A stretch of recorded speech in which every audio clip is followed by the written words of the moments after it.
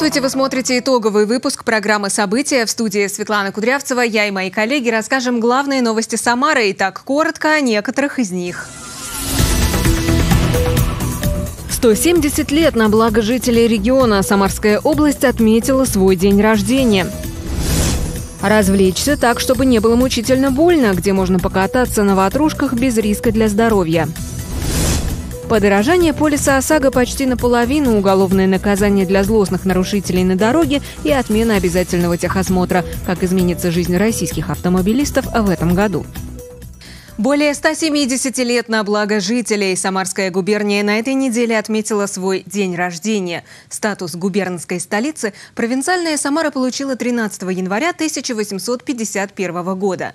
Тогда в состав губернии вошли три уезда Оренбургской области, два уезда Саратовской, Ставропольский уезд Симбирской губернии и лежавшие на левом берегу Волги части Самарского и Сызранского уездов. Выгодное географическое положение и стремительное развитие торговли и промышленности помогали успешному развитию края. Самарцев поздравил с праздником губернатора Дмитрий Азаров. Самарский край,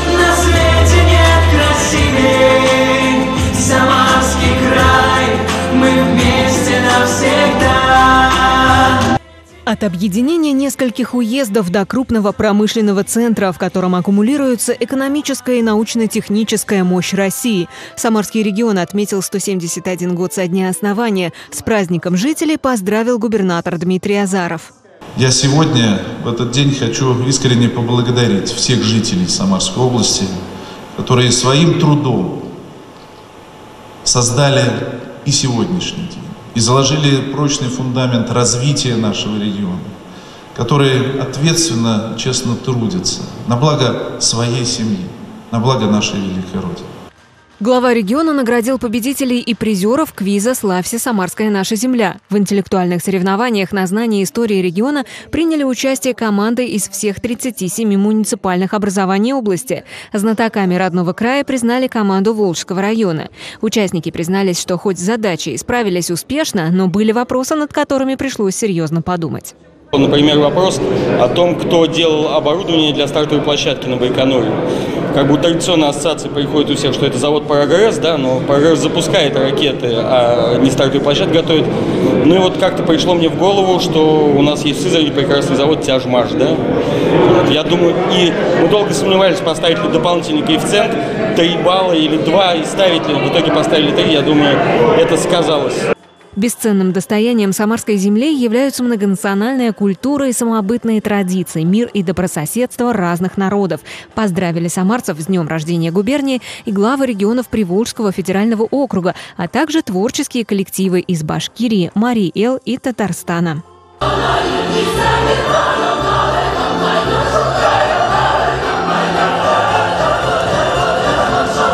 Светлана Кудрявцева, Николай Сидоров. События. Самарская область по итогам прошлого года вошла в топ-10 национального туристического рейтинга. Аналитики собирали и изучали статистические данные, публикации в СМИ, взяли комментарии у федеральных и региональных экспертов для оценки динамики развития внутреннего и въездного туризма как в стране в целом, так и во всех российских регионах. По итогам исследования Самарская область продемонстрировала успешную динамику. Количество желающих познакомиться с историей и красотами Самарской земли по сравнению с 2020 годом выросло выросла на 23,5%. Регион посетили свыше полутора миллионов человек. Если сравнивать с допандемийным 2019 годом, то турпоток увеличился на 30,5%. Приоритетный вид туризма – экологический. Этому способствуют уникальные природные ресурсы. 211 особо охраняемых природных территорий регионального и три федерального значения. Национальный парк Самарская Лука, Жигулевский государственный природный заповедник, Рачейские, Муранские боры, Подвальские террасы и много многое другое. Работы по уборке и вывозу снега в Самаре продолжаются. В сутки вывозят порядка 5000 тонн снега. Как устраняются последствия непогоды, регулярно проверяет глава Самары Елена Лапушкина. Какие поручения были даны главам внутри городских районов и руководителям объектов социальной сферы и торговли после одного из сильнейших снегопадов на этой неделе, расскажет Ольга Павлова. Без перерывов между сменами и выходных. От последствий сильного снегопада, который обрушился на Самару в эти дни, избавляются в усиленном режиме. Город замело буквально за сутки. Свыше 10 миллиметров осадков выпало всего за 24 часа. Фактически рекордная цифра для января. На расчистку дорог и тротуаров в утренние и дневные часы вышли 170 уборщиков и 125 единиц спецтехники. Сегодня по прогнозу погоды обещают э, еще такое же количество осадков, поэтому мы, конечно, темпов не снижаем и с главами районными договорились, что тоже у них на личном контроле работа управляющих компаний, домов ТСЖ, ЖСК. Ну и мы, соответственно, тоже максимально привлекаем количество техники, количество дорожных рабочих и привлекаем дополнительную технику для вывоза снега с территории города. По прогнозам синоптиков, в ближайшие пару дней в город вновь придут метели и осадки в виде снега. Поэтому все коммунальные службы города переведены в режим повышенной готовности. От последствий непогоды необходимо избавляться вовремя, не дожидаясь обращения граждан. Скоплений снежных завалов, сугробов и гололеда не должно быть во дворах и прилегающих к ним территориях. Систематически приводить в порядок нужные дороги, по которым движется личный и общественный транспорт, а также пространство вблизи объектов торговли и социальной сферы. Все коммунальные службы работают на так называемом продленном режиме, то есть перерывы между сменами нет. Каждая смена продлена в среднем на 2-3 часа. Все службы находятся в готовности. А, вывоз снега сегодня производился интенсивно. Для того, чтобы работы по уборке и вывозу снега шли оперативнее, жители Самары просят своевременно в установленные управляющими компаниями и ТСЖ часы убирать свои автомобили из парковочных карманов, а ответственным за расчистку территорий проводить ежедневный мониторинг и в случае выявления нарушений в максимально короткие сроки их устранять. Ольга Павлова, Константин Головин. События. Катание с горок – любимое всеми зимнее развлечение. На так называемом тюбинге, ярком надувном круге, катаются все от мала до велика. С каждым годом это увлечение становится все популярнее. Но важно соблюдать технику безопасности, чтобы здравый смысл преобладал над желанием получить удовольствие. Как сделать так, чтобы веселые забавы на ватрушке не закончились травмами, расскажет Мэри Елчан.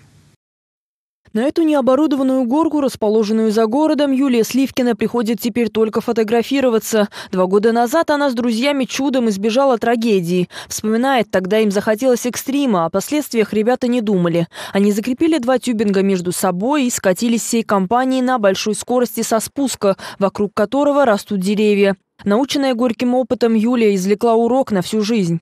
Два человека слетели, у одного валенки туда, все тормозили пятками, а мне пришлось тормозить лицом прямо в дерево. И после того, как я поднялась с этой горы, а, люди на меня посветили, а у меня вот тут вот такой след от дерева, труха от дерева. Все бы могло закончиться еще, наверное, плачевнее, еще трагичнее. Получать удовольствие от катания на тюбингах можно без риска для здоровья. Для этого во всех парках Самары оборудованы специальные трассы.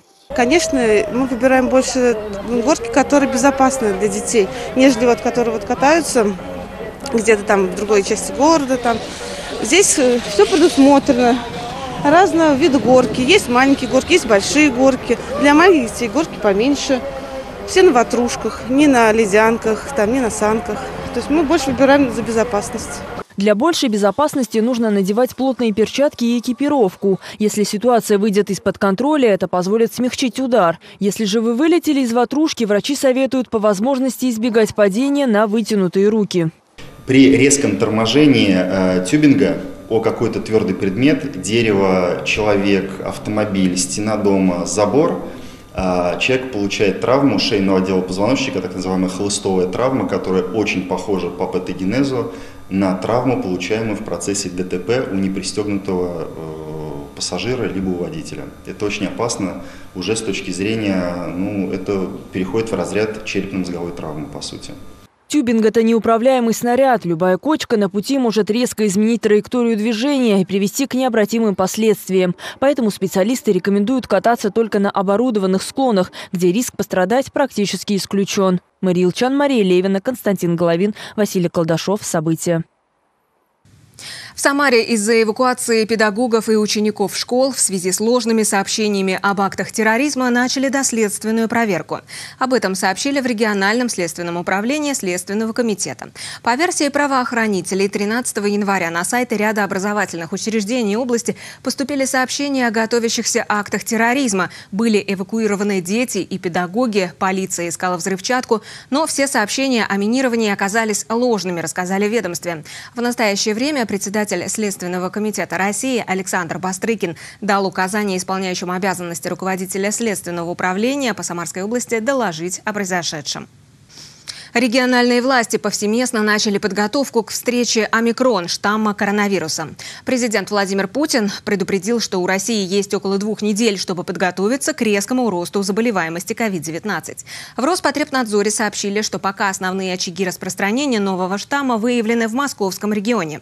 При этом, учитывая ситуацию за рубежом, где всего за несколько недель омикрон вытеснил дельту и привел к многократному росту показателей заболеваемости, в Роспотребнадзоре не исключают не неблагоприятный вариант эпидемиологического прогноза, при котором число заражений в сутки может возрасти до шестизначных чисел. Не только видеть виртуальную реальность, но и чувствовать ее запах. Самарские ученые презентовали новую разработку. Тренажер способен вернуть обоняние, потерянное в результате перенесенного коронавируса. Подробности выяснила Мария Левина. Вера Дудко в ноябре переболела коронавирусом в легкой форме, но в результате у нее полностью пропало обоняние. Запах кофе не почувствовала. Обычно сидишь и как-то это расслабляешься, все, а это не чувствую. Запах шампуня не чувствовала. Обычно все, что это когда и мыло душистое. Тут как раз вот разрабатывалась новая методика.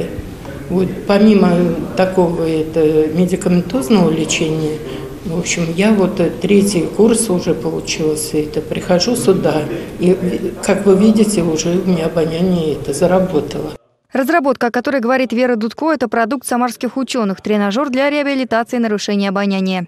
С помощью специальных очков пациент переносится в виртуальную реальность. Он видит знакомый предмет и вспоминает, как это пахнет. А для закрепления эффекта ему через маску подается запах. Причем виртуальную реальность тоже можно выбирать. Ботанический сад, побережье океана, ресторан. Сценариев уже больше сотни. Первая сцена – это сцена диагностическая, когда пациенту врач на свой выбор подает запахи, и пациент должен в виртуальной реальности определить, что это такое. А вторая сцена, которую вот вы сейчас видите, это сцена дендрарий. В ней в, свобод, в режиме свободного перемещения в этой сцене виртуальной реальности э, пациент может подойти к какому-нибудь объекту, например, к цветам или к еле. В этот момент врач или сам пациент могут нажать кнопку и ощутить запах. И вот цветущим растениям, которые э, красненькие, да, остановитесь у них, останавливайтесь у них. Подаем запах. Курс состоит из семи процедур. Перед тем, как его провести, пациента диагностируют и узнают, с какими именно запахами проблема. На бутылочках у нас э, различные цифры, которые угу. вижу только я, что находятся. А раньше использовался вот такой набор. Номер три. Опять что-то медицинское как вы это ведете здоровый образ, это спирт этиловый. У нас а, поражение может быть не только периферическое, не только обонятельного нерва, но в обонятельных ощущениях участвует еще и троничный нерв. Для поражения троничного нерва, для определения, используется вот это вещество. Если вот человек не чувствует это, значит у него поражен троничный нерв. Подводим. Аккуратно глаза закрыли. Троничный нерв нормальный, хорошо работает. Что это? Ну, это а, аммиак, что-то типа? Ну да, наш секрет. Доранты, которые находятся в нашем э, аппарате, они одобрены. А, была консультация фармакологов, э, и только после этого эти обонятельные вещества даются пациентам. Когда вернется обоняние, зависит от индивидуальных особенностей пациента. Обычно это происходит к концу курса. Но некоторым приходится повторить реабилитацию, что допускается через пару месяцев. Мария Левина, Николай Епифанов. События. Подорожание полиса ОСАГО почти наполовину. Уголовное наказание для злостных нарушителей на дороге и отмена обязательного техосмотра. С начала года в стране вступили в силу законы, которые призваны изменить жизнь автовладельцев. В то же время некоторые инициативы еще только рассматриваются. Подробности в сюжете. Штрафы до 300 тысяч рублей, 480 часов обязательных работ или лишение свободы до двух лет. Такое наказание теперь грозит лихачам на дорогах, которые уже привлекались к административной ответственности и лишались прав за превышение скорости более чем на 60 км в час, либо за выезд на встречку или трамвайные пути. Ольга Доронина возглавляет Самарское рекотделение Всероссийского общества автомобилистов и сама за рулем уже 20 лет. Она уверена, что такая мера поможет навести порядок на дорогах и сделает автовладельцев ответственнее. На сегодняшний момент э, любой водитель, который управляет транспортным средством, подумает, выезжать на встречную полосу или превышать на такой э, большой скоростной режим, нарушаем на 60 км в час. Это огромное нарушение на сегодняшний момент. Да? У нас, вы знаете, разрешено до 20 а, км в час а, превышать скорость. Да? И где-то я соглашусь, что действительно это есть такая вероятность на таких дорогах. Но 60 км в час это уже опасное вождение, которое опасно не только для других участников дорожного движения, в том числе водителей, но и для пешеходов. По статистике, более 40% водителей повторно нарушают ПДД. Их не останавливает факт привлечения к административной ответственности за превышение скорости. К тому же каждый десятый автомобилист допускает грубое нарушение правил, в том числе выезд на встречную полосу. Зато с этого года владельцы легковых автомобилей и мототранспорта освобождаются от обязательного прохождения техосмотра, если используют транспорт исключительно в личных целях. Правда, в некоторых случаях проходить диагностику все равно придется. Обязательно будет только для некоторых автовладельцев. Это касается такси, пассажирского транспорта и э, э, грузоперевозок.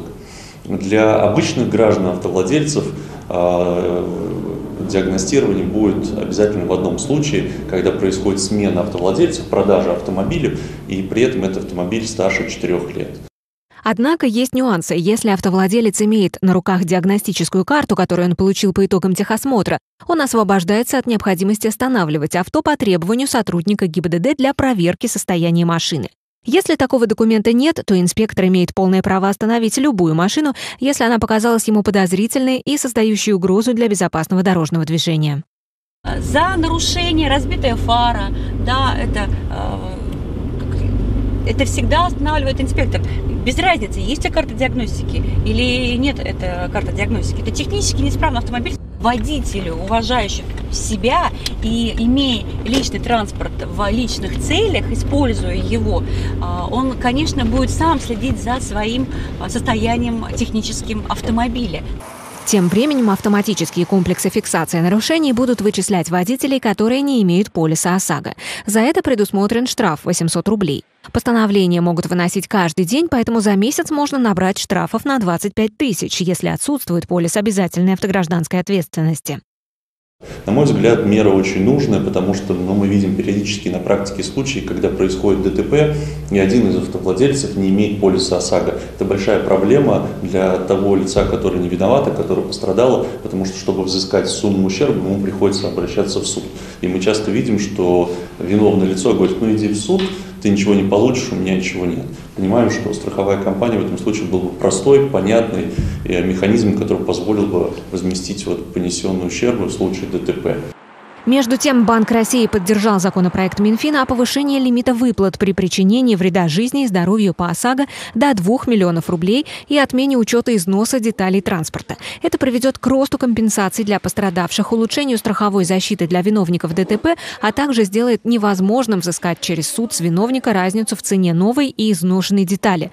Но все это в итоге приведет к подорожанию полиса ОСАГО, как отметили в Центробанке на 48% до 2567 рублей. Светлана Кудрявцева, Николай Сидоров, Григорий Плешаков. События. 115 лет со дня рождения отца советской космонавтики Сергея Павловича Королева. Студенты Самарского университета на этой неделе возложили цветы к барельефу гениального конструктора. В Музее космонавтики и авиации провели экскурсию, на которую отправилась и наша съемочная группа.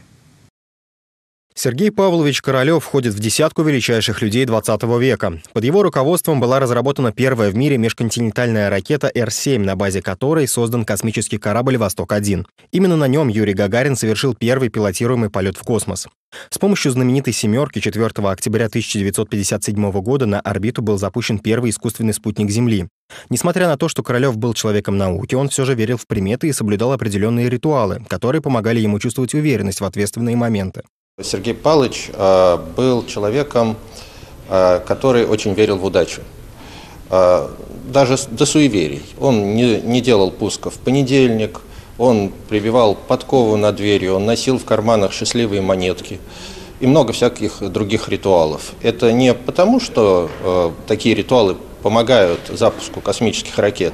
Вероятно, они помогают чувствовать себя спокойнее, увереннее и спокойствие э, руководителя, оно передается и окружающим. Музей авиации и космонавтики в Самаре хранит уникальные вещи гениального конструктора. Среди них письма Сергея Павловича Королева, его счастливая шляпа и галстук, а также стартовые повязки. Одна из них была на Королеве во время полета Валентины Терешковой и Валерия Быковского. В распоряжении музея также имеется повязка с автографом Королева, которая была на нем во время запуска космического корабля «Восход». Сотрудники музея и сегодня не прекращают поиск личных вещей конструктора. Круг общения был достаточно большой Сергея Павловича Королева, но в силу того, что он был закрыт, очень засекречен, ну, прежде всего, о документах, наверное, речь идет, документы все, наверное, сохранились. Многие его подписи просто не знали, документы написаны его рукой, и порой они находятся совершенно случайно в архивах людей, которых, может быть, уже ушли из жизни, родственники находят. И определить их могут только специалисты, те, кто занимается изучением его истории, знают как бы почерк, знают вот подпись. Королев лично курировал производство деталей космических кораблей, поэтому часто бывал на предприятиях Куйбышева. О чем жители города даже не подозревали, личность Сергея Павловича была засекречена. Он не появлялся на экранах телевизоров и даже не смог приветствовать Юрия Гагарина после приземления. Королева дважды номинировали на вручение Нобелевской премии, однако Никита Хрущев так и не позволил раскрыть личность создателя ракетно-космической техники. Его имя стало известно общественности только после смерти в 1966 году. Максим Магомедов, Максим Гусев. События. Головные боли и апатия. По словам специалистов, самые частые признаки постновогоднего синдрома у россиян. По статистике, ему подвержен каждый второй житель страны. Виной всему сценарий проведения каникул, алкоголь, сдвинутый режим сна, мало движений и много несбалансированной вредной пищи. С каким настроением выходят в первую рабочую неделю самарцы и как побороть накатившую хандру, выясняла Гульфия Сафина.